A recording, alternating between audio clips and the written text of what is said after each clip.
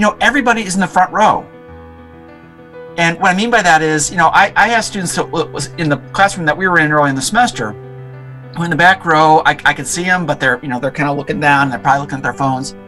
Now I, I got everybody in the front row, so to speak. And um, it's really been interesting how well that's gone. Um, eyewitness testimony is terrible um, and, and unreliable. It's used all the time. Um, but it's, it, did any of you guys have an intro psych class where somebody did an eyewitness uh, sort of example? It's very common for our intro classes. Abby, what, what did you have happen? Do you remember? I remember um, they had showed a video and it was like of a car accident and they had like the bystanders trying to describe it and they couldn't even get like the color of the car right. The teachers still get to interact with students. The students still get to propose questions. There is a bit of um, uh, like a slight disconnect when you when you propose a question because you almost have to interrupt the professors sometimes. But the professors, being as understanding as they are, are accommodating to the students interjecting with questions. Well, the biggest difference is definitely uh, the change in time zone. And so that means that my class that was at 8:10 a.m. EST starts at 5:10 PST here, which means uh, I have to get up, or I had to get up at 4:30 Monday and Wednesday to get to class on time it really it did catch me off guard a little bit because I came home from spring break and I just wasn't allowed to go back to school. So um, even though I am local, it's still it's like school still feels very far away, and I I really do miss being able to make my own routine and not have to work around three other people. Not don't get me wrong, I love my family and everything, but um, I just I just really was not mentally prepared for this change. Um, I don't think anybody was, but um, yeah, I do get home cooked meals though. That's really nice. Try that. Try and see what it's like if you push your own back out so you have a flat back. What does it do?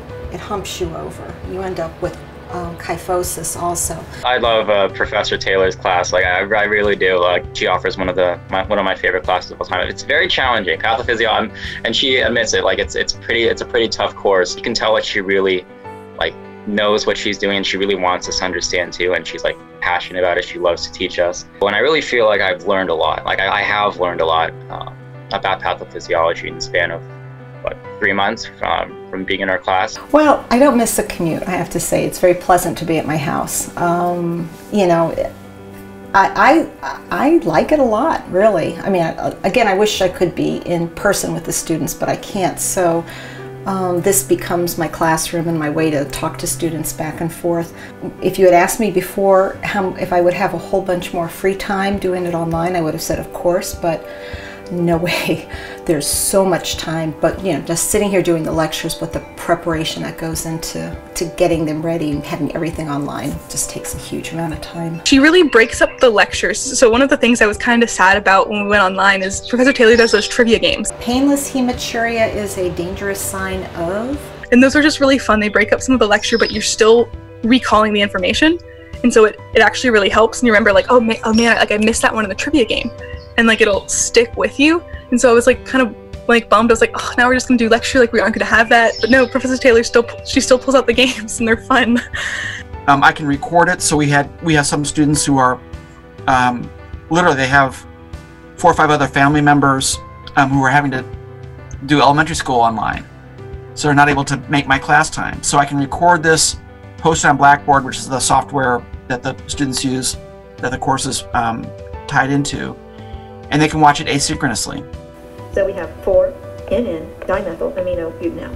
It's just nice because I can either like turn up the volume without asking or turn down or just like pause it when I need to or just like a lot of times actually like speed up the video just because um, it keeps you like more engaged if like they're talking faster. You don't realize how slow people talk until you have to watch all these lectures. I very purposely make references to you know the Washington Hospital Center across the street, uh, you know references to their life back here at Wa in Washington at the university.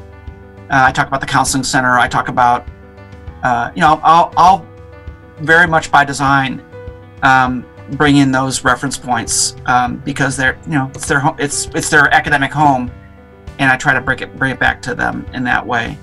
The CUA community has been doing a really good job of staying in contact with its students and keeping us updated.